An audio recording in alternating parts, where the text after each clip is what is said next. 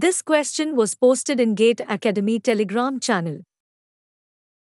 Please note that we are not connected to Gate Academy in any way, but we think it is our moral responsibility to help students. Hope this video is helpful for you.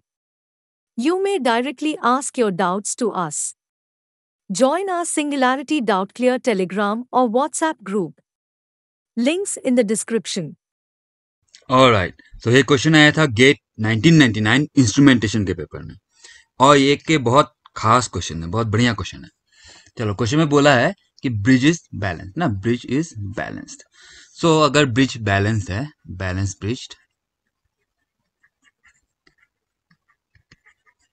तो क्या होता है? ये one kilo ohm, मैं kilo ओम नहीं लिख रहा हूँ, क्योंकि मतलब करंट जो आएगा मिली एम्पेयर में आएगा तो बस वन लिख रहा हूँ। One into two kilo ohm. Should be equals to four kilo ohm into या यहाँ पे कोई रेजिस्टर नहीं है. यहाँ पे हमको क्या करना पड़ेगा?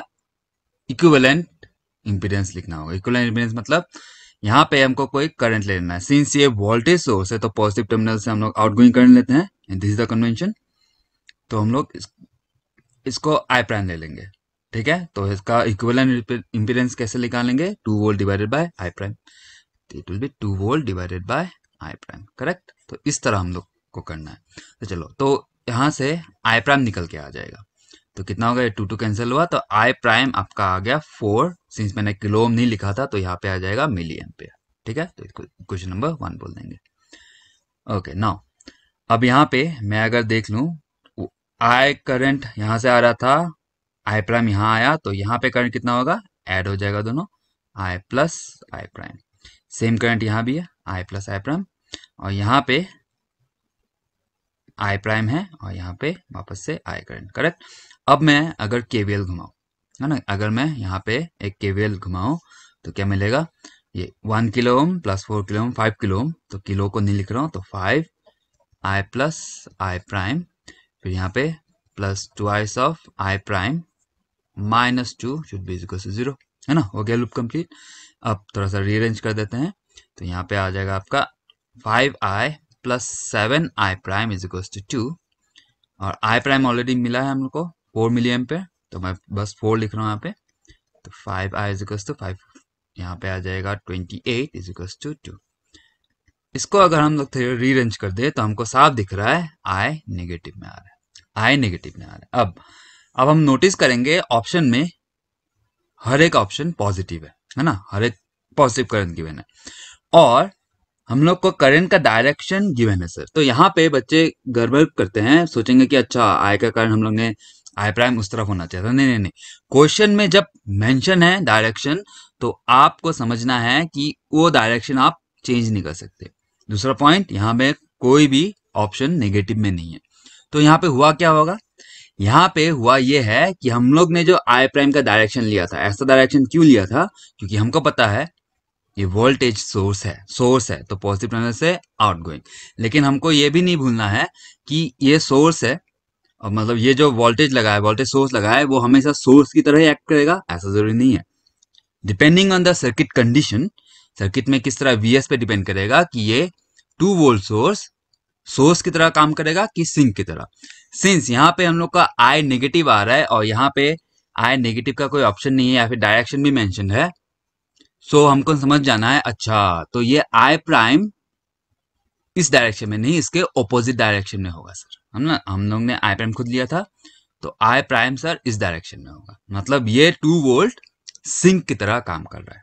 है ना ये जो सोर्स है वो अब सिंक की तरह काम कर रहा है। तो यहाँ पे सारे इक्वेशन चेंज हो जाएँगे। तो अब करंट कितना है? आई करंट आ रहा था आई प्राइम उधर गया तो यहाँ पे I minus I prime same current इधर है और इधर वापस से डायरेक्शन चेंज हो गया। I prime. क्लियर बात? अब वापस अगर K C L K V L लगाए तो देखते हैं। तो ये वन प्लस फोर फाइव आ गया, five. I minus I prime, फिर यहाँ पे minus two twice I prime, minus two is equal to zero. Okay थोड़ा सा रीअरेंज कर देंगे तो five I prime five I minus seven I prime is equal to two. तो यहाँ पे five I is equals to two plus seven I prime I prime already पता है फोर मिलियन पे। तो seven times of four milli ampere नहीं लिख रहा हूँ। तो ये यहाँ पे आ जाएगा four seven twenty eight plus two तो thirty by five which is six तो हम लोग को मिली में लिखना है तो मिली एम्पेयर ठीक है? तो इस तरह आपका सिक्स मिली एम्पेयर आंसर आना है, और six milli ampere is the right answer for this question ठीक है?